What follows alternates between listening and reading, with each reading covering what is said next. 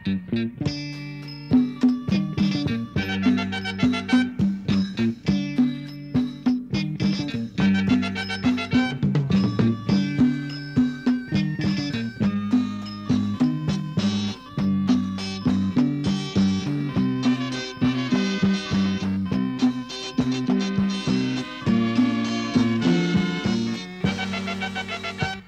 สดีค่ะผู้หมวดขา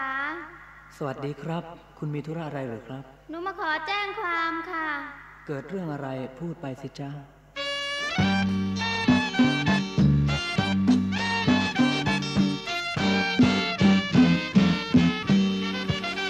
ผู้หมวดขา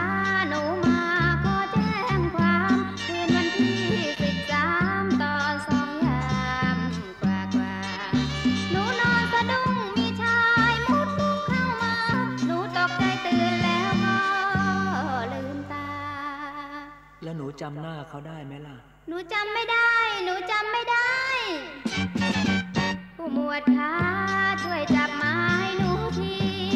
ผู้ชายคนนี้ไว้คุณตีสูงใหญ่ หนูพูดสิว่าชายแปลกหน้าเขาทำอะไร เขากอดเขาจูบเขาลูบเขาไล่แล้วเขาทำอะไรหนูอีก แล้วเขาก็ไป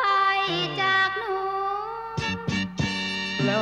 จากนั้นหนูมีอาการเป็นยังไง หนูว่าวิวสวงในจนขนกายลุกสู้ โอ้ขวัญเอ๋ยอย่าตกใจเลยแม่หนู เดี๋ยวคืนนี้หมวดจะไปอยู่ เป็นเพื่อนหนูดีไหม